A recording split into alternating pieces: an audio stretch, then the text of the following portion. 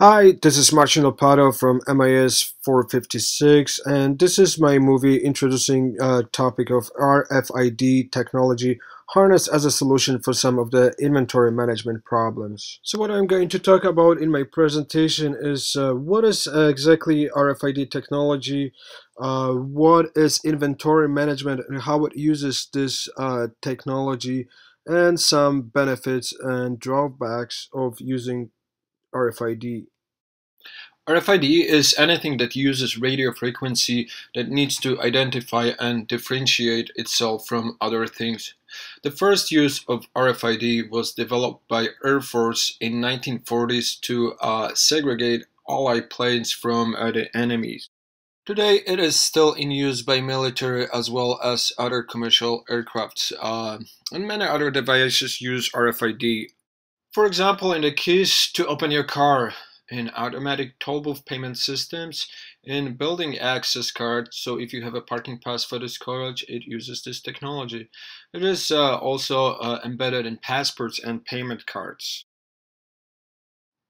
There are two different uh, types of uh, RFID tags. The primary difference between passive and active RFID tags is that active tags are powered by battery and automatically broadcast their signal, whereas passive tags do not have a power source and only transmit a signal upon receiving uh, radio frequency energy emitted from the reader in proximity of the tag. Let's look at some key differences between active and uh, passive RFID tag. Active tag is battery operated. It requires low strength of signal. It has a large range up to 100 uh, above 100 meters. Uh, it can read and write larger amount of data. Generally, it is more expensive, from 15 to even 100 dollars per tag. Uh, tag size it will be a large and passive tag. The best areas of use will include high-volume asset moving within uh, designated areas in random and dynamic systems. An industry application will uh, that use uh, active tags will be uh, in auto dealership and manufacturing, hospitals, construction, mining, laboratories. Passive tag, uh, on the other hand, has no internal power. It requires much higher uh, signal strength. It has it has much shorter range, uh, about 3 meters, can write and read uh, smaller amounts of data. Generally, it's way cheaper than uh, active tag. It's much smaller also. High volume asset moving through fixed checkpoints in definable uniform systems are best area to use passive tags. Passive tags are most successfully used in uh, application of high volume manufacturing, libraries, bookstores, pharmaceuticals in passports, electronic tools, and retail item uh, level tracking. So what is inventory management? Inventory management is the process of efficiently overseeing the constant flow of goods into and out of existing inventory. This process involves controlling the transfer of units in order to prevent stock, the stock from becoming too high or dwindling to levels that could put the operation of the company into jeopardy. Effective inventory management is all about knowing what is on hand and where it is in use. After use of pen and paper became outdated, computers aided the whole process. Until recently, barcodes were the most effective way to keep track of real-time inventory. However, nowadays their RFID technology is making its way in into inventory management. With barcodes you need to manually scan every single one barcode. These are prone to damage which makes them difficult to scan. If item was missed, incorrect data would be acquired. RFID is different. It can scan many items at once and since we don't use optical laser, no direct line of sight is needed. Also, RFID tags can be read from a distance. This translates into more accuracy and speed. The warehouse is an important supply chain entity because it acts as a buffer to minimize the effects of variability in the supply chain. RFID technology used in a warehouse allows shipments to be received automatically barcodes no longer would need to be scanned before storing the products, and picking and shipping the products would also be easier. As a result, manufacturers can improve visibility and lower the overall inventory levels, labor costs, and safety stocks. Before now, retailers have primarily used RFID tags to track pallets of merchandise traveling through their supply chain.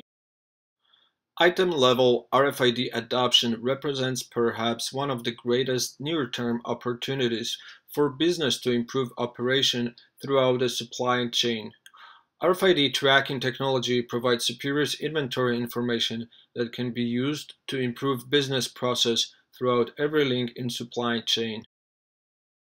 RFID tagging provides visibility of product movement, streamlines distribution, improves demand forecasting, and makes manufacturing more responsive. Some of the latest advantages of RFID have been demonstrated in item-level deployments at clothing retail stores. Item-level tagging, where small nondescript RFID tags are typically embedded in existing apparel hang tags, are helping solve retailers' challenges including out-of-stock levels, inventory accuracy, and helping customers quickly and easily find the size, style, and color they are looking for. Future looks bright for RFID. We may soon see this technology even in our kitchens. There are some manufacturers that come up with smart fridge concept that is equipped with a RFID reader, making it aware of its own contents. So you don't have to have to check uh, what's left in the refrigerator before making grocery shopping list. Self-checkout is another option where merchandise is ring up via RFID tag and contactless payment allow transaction to be completed quickly. Number one advantage of RFID tags is its efficiency. RFID tags do not require line of sight to be deciphered. They can be read through cardboard, plastic, wood, or even the human body. RFID tags can easily track moving objects and send the required information back to the reader. This eliminates human error, reduces labor, and provides quick access to a wealth of information. Another advantage of uh, RFID is its return on investment. RFID costs more to implement than barcode system, but it provides a good return on investment in the long run, since RFID is significantly more efficient. Another advantage is the fact that RFID tags are less susceptible to damage. An RFID tag is securely placed within an object or embedded in plastic enabling the system to be used in a variety of harsh environments, such as as area of high temperature or moisture, or within exposure to chemicals or the outdoors. As usual, there are some drawbacks to the system too. RFID uh, are typically more expensive than alternatives such as barcode systems. While passive tags reading is similar to and generally less expensive than barcode reading, Active tags, on the other hand, are constituted by complexity. An active tags consist of uh, antenna, radio transceiver, and a microchip, increasing the overall cost of an RFID system. Tag collision and reader collision are common problems with RFID. It occurs when numerous tags are present in confined area. The RFID tag reader energizes multiple tags simultaneously, all of which reflects their signal back to the reader. This results in tag collision and the RFID reader fails to differentiate between incoming data. RFID technology gives rise to numerous security concerns. Since the system is not limited to line of sight, external and potentially malicious high-intensity directional antennas could be used to scan sensitive tags. Fraud is always a possibility when technology is used for high security operations, such as payment verification.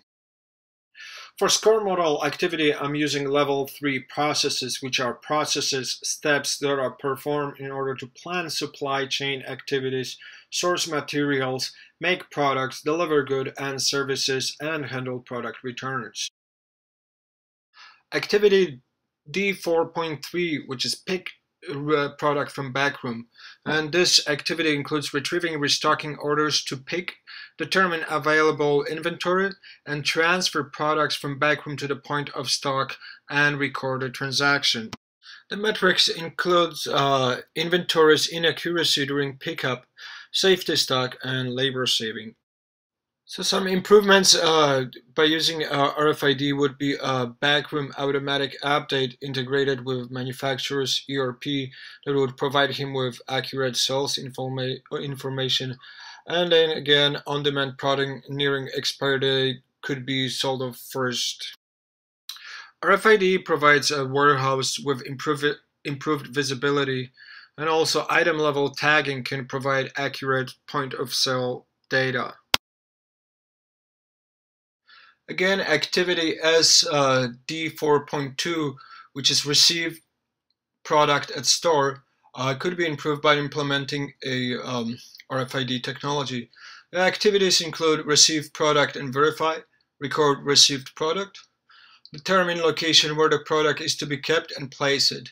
And the metrics are a number of restocking per day, accuracy of restocking and how to trace it we could get product information in lines in less time and uh, would also uh, get uh, automated product receiving and verification in store by implementing RFID. Thank you for watching and I hope you will have some questions from me later.